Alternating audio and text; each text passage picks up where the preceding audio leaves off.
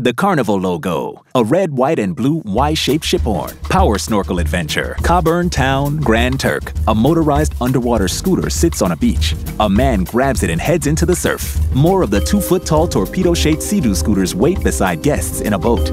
Holding his face mask, a man tips backward off the boat, splashing into the turquoise sea. A guest points his scooter down. He gives a thumbs up as he rides to the coral reef a few feet below the surface. A man dives alongside a wall of coral. Colorful tropical fish swim among the snorkelers. Sea plants flutter in a gentle current.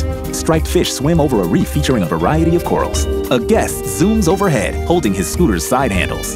Vivid blue fish swim among silvery fish with black and yellow tail fins. A woman swoops low over the seafloor, then aims her scooter up, rising effortlessly to the surface. A broad sea fan grows alongside clusters of brain coral with thick, wavy grooves. Carnival!